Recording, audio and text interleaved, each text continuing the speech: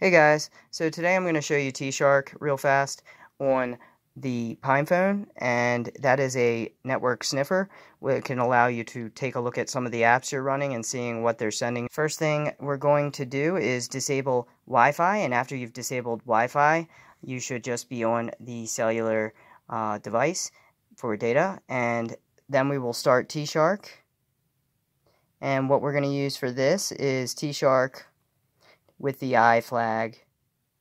And then we're going to have WWAN0 as the interface for it. And once we hit enter on that, we're going to, of course, be capturing on WWAN0.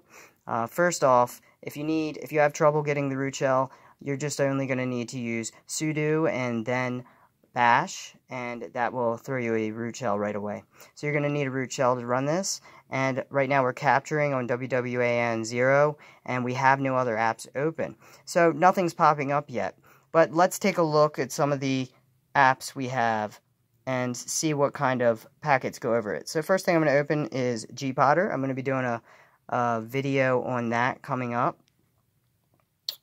And we're just going to see if anything comes up when we open it.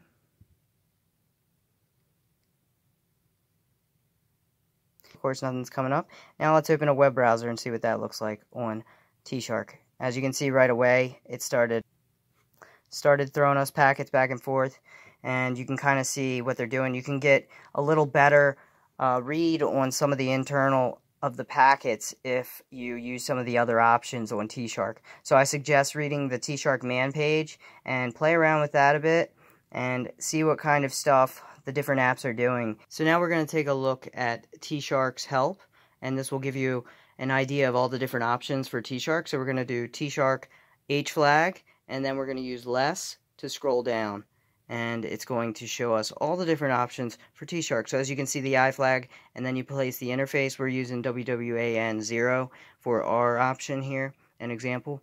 Uh, there's several different options. You can cancel out certain types of packets that you want to basically filter out.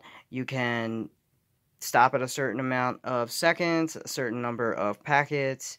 You can save it to file. You can format your packets into various different formats. Sometimes people just want text, some people want PCAP files uh, for viewing in Wireshark and other otherwise. So you can use different types of files to add in.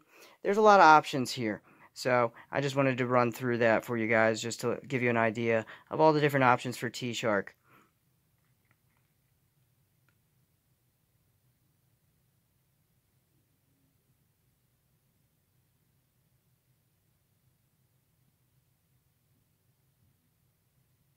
But T-Shark's available on PureOS's uh, repository, so you can just do an apt update and a apt install T-Shark, and it should be fairly easy to grab it. To exit out of T-Shark when you're all finished, you're going to do Control. You may need to go over to the terminal layout for keyboard, and then hit Control and then you're going to do C. It's a traditional Control C as you would exit out of things if you were on a standard Linux desktop.